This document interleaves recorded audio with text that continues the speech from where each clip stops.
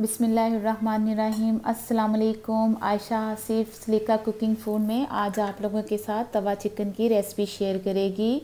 आइए देखते हैं इसको हमने कैसे बनाना है। दो मीडियम साइज़ के प्याज ले लिए हैं। पाँच से छः जो ये लहसुन के हैं। एक डेढ़ इंच अदरक का टुकड़ा है। चार मीडियम साइज़ के टमाटर लिए। इनको इस तरह गोल काट लिया।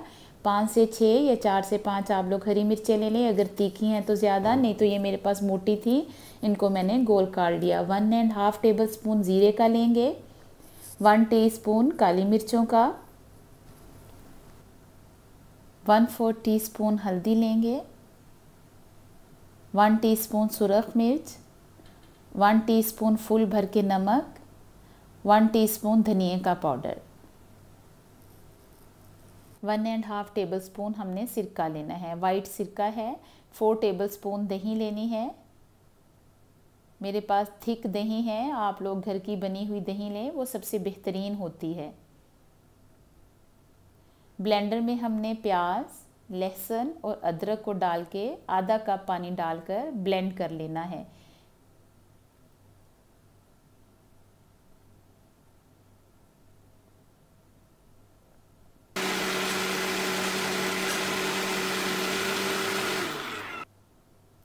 एक किलो चिकन लिया है, उस पर वो मैरिनेशन सारी जो ब्लेंड की थी, इस पर लगा के एक घंटा फ्रिज में रख देंगे। तवे पे आधे कप से ज़्यादा ऑयल डालें। आप घी भी डाल सकते हैं, मैंने ऑयल का इस्तेमाल किया है। आप लोग इसको घी में बनाएँ तो ज़्यादा टेस्टी बनती है। इसमें मैंने ज़ीरा डालकर इसको थोड़ा सा भून लेना है। ऑयल को भी तकरीबन सारे तवे पे फैला लें और ज़ीरा जब कड़कड़ाने लगे तो इसमें हम चिकन डाल देंगे।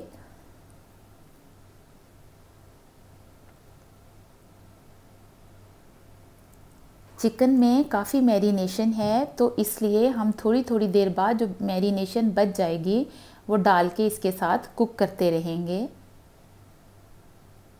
अभी एक ही दफ़ा आपने सारे चिकन को तवे पे डाल देना है। ये देखें, ये मैरिनेशन बच गई है। ये थोड़ी थोड़ी डाल के हम इसको कुक करते रहेंगे। देखें, मैं आपसे एक बात कहना चाहूँगी कि हमें अपनी शख्सियत को एक ही रखना चाहिए। जैसे हम कहीं बाहर जाते हैं, हम कहीं मेहमान जाते हैं तो हम बड़े अच्छे तरीके से बैठते हैं, खाते हैं, बोलते हैं। हमें बड़ी तहजीब होती है हम बड़े मैनर्स शो कर रहे होते हैं, लेकिन घर में हम ऐसे नहीं होते। हमें एक ही रहना है। हमें घर में भी बहुत अच्छा तरीका अपनाना है।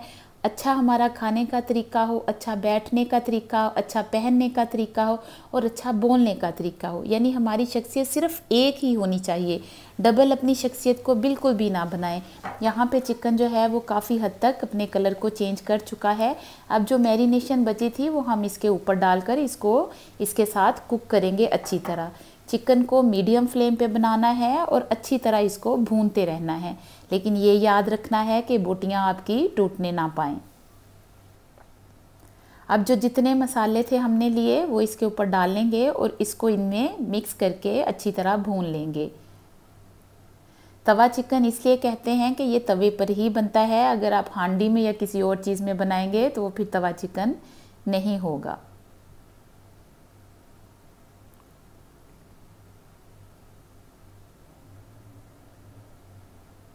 ये देखें, अच्छी तरह हमने इसको मिक्स कर लेना है, अच्छी तरह भूनना है।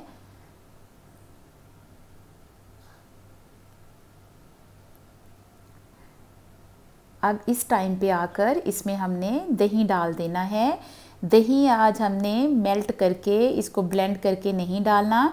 जैसा दही हमने निकाला था, उसी को इसके ऊपर डाल देना है, बिल्कुल ऐसे ही।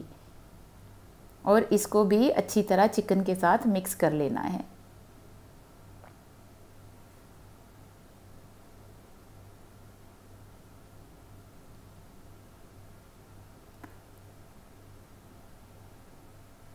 चिकन भी, मैरिनेशन भी, दही भी, स्पाइसेस भी सारे अच्छी तरह भुन रहे हैं। अब इस पे हमने टमाटर डाल देने हैं। वो पाँच से छः मिनट भुना है ये मसाला। टमाटर डाल देंगे।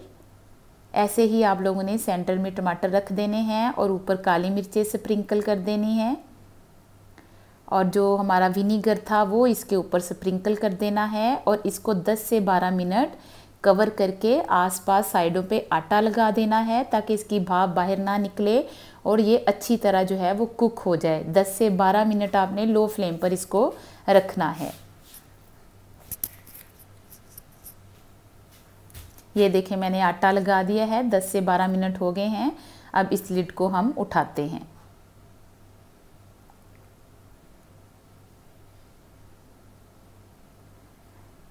लिड को उठाया है, टमाटर हमारे गल चुके हैं, बस इसको चिकन के साथ हमने अच्छी तरह मिक्स कर लेना है।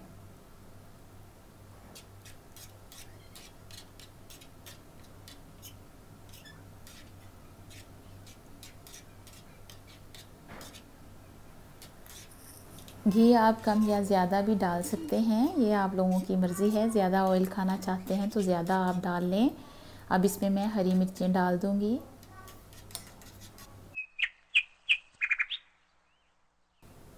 हरी मिर्चें आप ज़्यादा भी डालना चाहते हैं तो ज़्यादा डाल। लें कुछ लोग तीखा पसंद करते हैं और कुछ ज़रा हल्की मिर्च पसंद करते हैं तो उस हिसाब से आप कम या ज़्यादा कर सकते हैं। मैंने यहाँ चार से पाँच हरी मिर्चें जो मोटी वाली होती हैं, वो काट ली थी। बारीक हरी मिर्चें ज़्यादा स्पाइसी होती हैं, वो तीन या चार ही काट लें तो काफ़ी ये स्पाइसी हो जाएगा।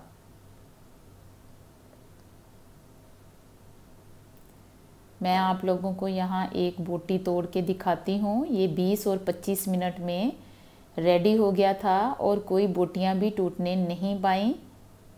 ये देखिए।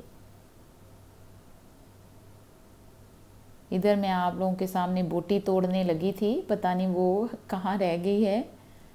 अभी दिखाती हूँ आप लोगों को। ये देखें।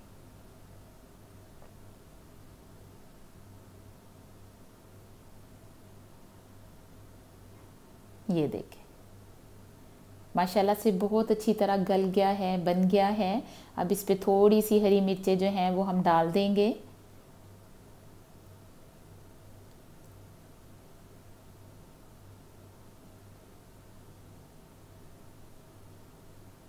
बहुत मज़ेदार, बहुत टेस्टी, बहुत स्पाइसी बहुत फ्लेवरफुल इसको ज़रूर बनाइएगा। अगर रेसिपी अच्छी लगे, इसे लाइक और शेयर कीजिएगा और कमेंट बॉक्स में भी मुझे ज़रूर बताइएगा आपको तवा चिकन कैसा लगा। आप लोग इसको ट्राई करना अपनी फैमिली साथ, बच्चों के साथ, अपने पेरेंट्स के साथ। अपना बहुत सारा ख्याल रखिएगा, दुआओं में याद रखिएगा। Thanks for watching the video